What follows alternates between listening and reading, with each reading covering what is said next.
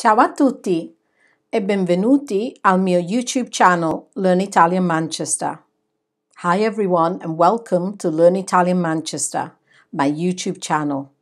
Today we're going to learn how to say il pigro, la pigra.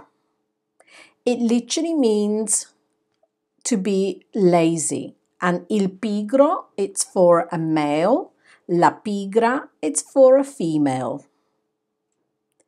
One more time. Il pigro, la pigra. Thank you for listening. If you want to learn more, please like the video and hit the subscribe button.